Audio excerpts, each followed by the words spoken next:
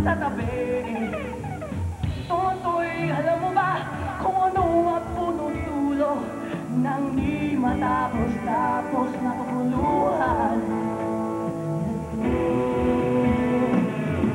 Hindi pula't dilaw, tunay na magkalaban Magkulay at tatak na hindi siyang dahilan. Hanggat marami be shy. Para lang sa maya.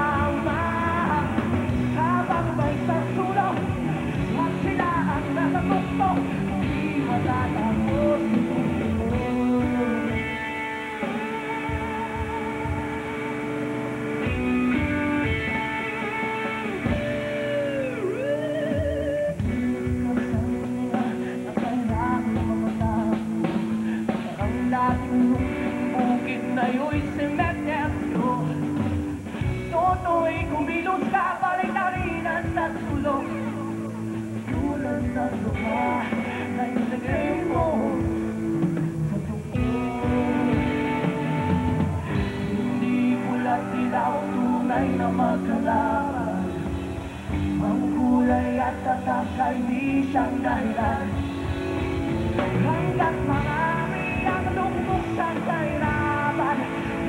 ang hustisya ay para lang sa mayaman Habang may tagsulong Huwag sila ang nasa tuktok Di matatapos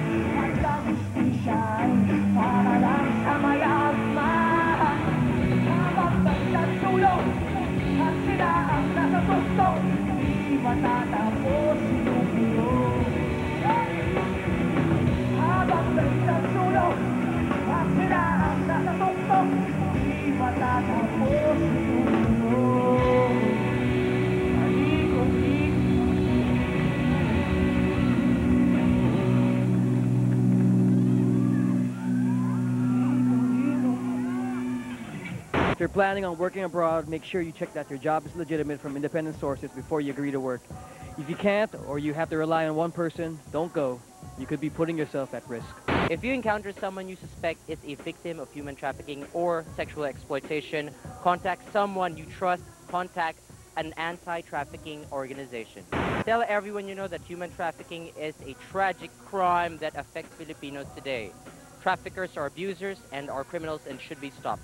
For more information, please visit www.mtbexit.org. We hope you enjoyed the show. This has been Sib.